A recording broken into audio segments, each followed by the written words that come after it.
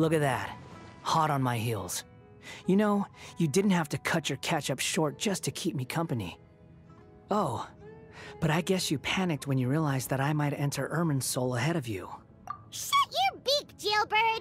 No way a prisoner gets to be so smug! I understand that prisoners have to put up with harassment from the guards. But right now, I'm on temporary release. So maybe you should think about backing off a little. Sounds like a successful rendezvous. I need to be quite clear about something. In a few moments, you'll be entering into the innermost region of Irminsul. It is an environment like no other, and the most important place in all of Sumeru. Unlike anywhere else, Irminsul's inner region consists exclusively of torrents of information.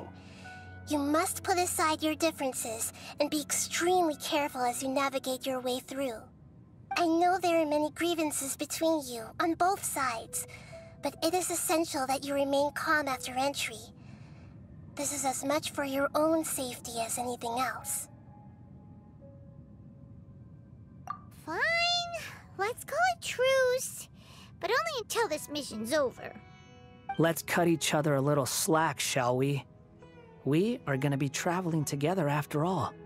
Per my agreement with Lesser Lord Kusanali, I'll be at the front. It's my job to lead the way and get rid of any obstacles in our path. All you have to do is keep your pretty eyes open and try not to fall behind. you sure are confident. Paimon will give you that. You make it sound like you're even more experienced at adventuring than us. If there are no further objections, I suggest we get going. Or did you need some time to mentally prepare yourselves? Ew! Ugh, the snark on this guy, it's unbearable. we can start now. Irminsul access granted. Initiating connection procedure. Is this a small sapling?